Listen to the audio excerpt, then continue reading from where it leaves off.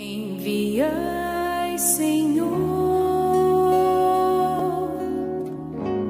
muitos operar.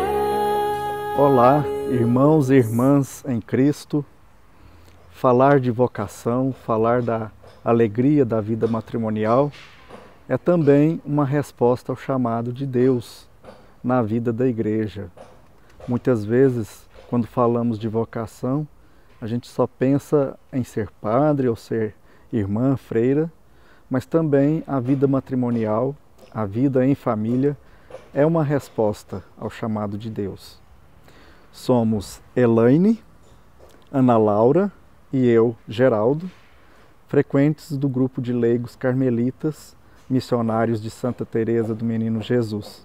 E aqui em Uberaba frequentamos a paróquia Nossa Senhora de Fátima, como família cristã no dia a dia? Nós nos conhecemos em Campinas, em 1996. Fizemos uma amizade e a partir dessa amizade surgiu o nosso namoro.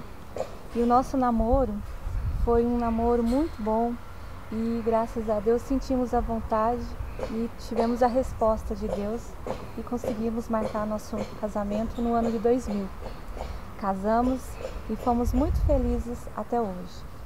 E continuamos com a graça de Deus, com a Ana Laura, né, nossa filha, em nossa casa. Família é um dom de Deus. Pois a